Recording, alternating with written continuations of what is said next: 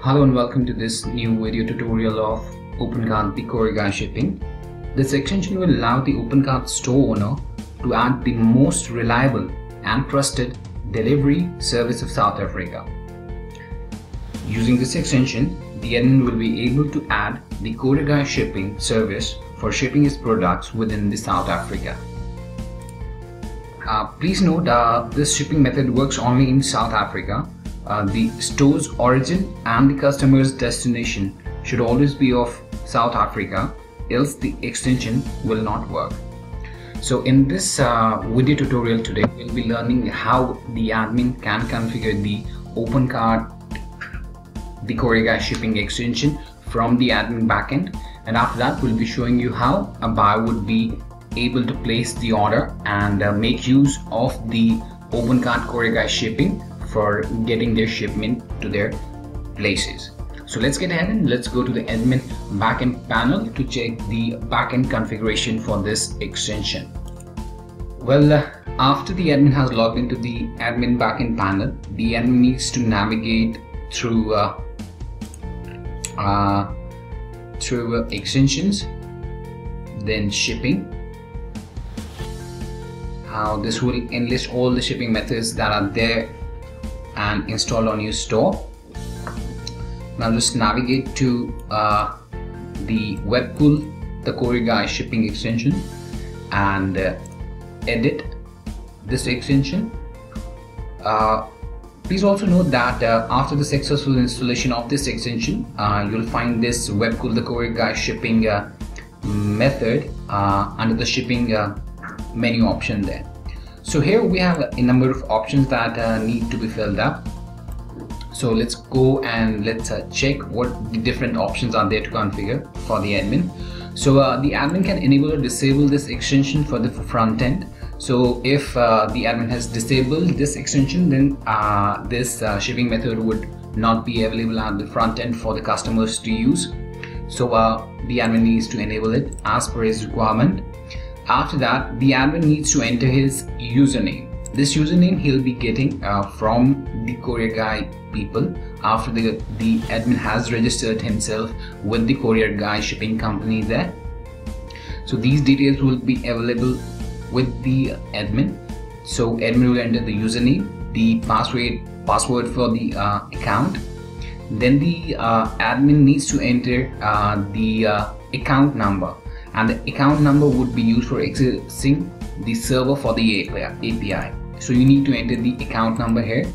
After that, you can type in uh, the test URL that is used to fetch the uh, like that's used uh, for getting the services or the various APIs uh, that would be used for uh, displaying the various um, uh, outputs for the shipping method there and after that you can type in the city of South Africa region uh, wherein uh, uh, you're, uh, you're having your account. After that you'll uh, type in the postal code and the postal code should be valid uh, for South Africa. So you'll type in your shop postcode. So please type that correctly.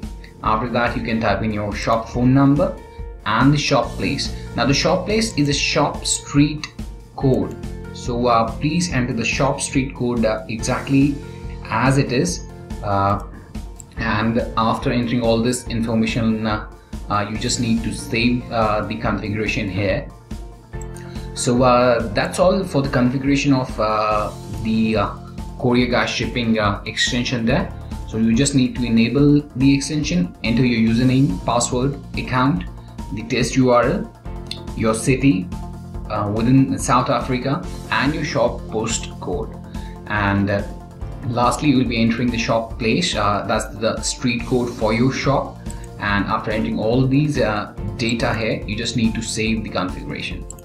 Now uh, let's go to the front end and let's see how a customer would uh, place an order for the admin's product and how the shipping method is displayed on the front end. So for that we'll be going to the front end now at the front end uh, the customer just needs to like uh, he just needs to add the product into the cart so as to go for the checkout.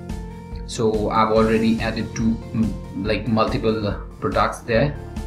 I'm sorry for that. It's uh, just a single product with uh, with with the quantity as 2 so I'll just go to the checkout by clicking the checkout button there and uh, after that the customer needs to select uh, his uh, address. And the address should also be uh, from within South Africa only. And um, the customer would have to click continue after that. Uh, you can select your delivery details. Hit continue after that. Now uh, you'll be now you'll be able to uh, see the Webkul Courier Guy the heading for the extension there for the shipping extension and the various methods that are available uh, for shipping the products within South Africa. So the customer can select any of the uh, uh, shipping service there. So we'll be selecting the first one and after that the uh, customer needs now under the payment method uh, the customer can select any of the payment methods that are available there so now we'll just be selecting the cash on delivery uh, delivery option there because this is just an example to show you how the checkout process uh, goes after selecting the uh, shipping method there. So we just, we'll just hit the continue button after that. And here you can see uh, the Webkul the Guy Economy Road has been selected by the customer and it's for $11.40 now the customer just needs to click the confirm order button to complete the purchase there. And after that the uh, co the Guy people would be shipping this uh, will be shipping this uh, shipment to the customer. And uh, that was all uh, on the customers end there. So uh, thanks for watching the video. Hope it helped you out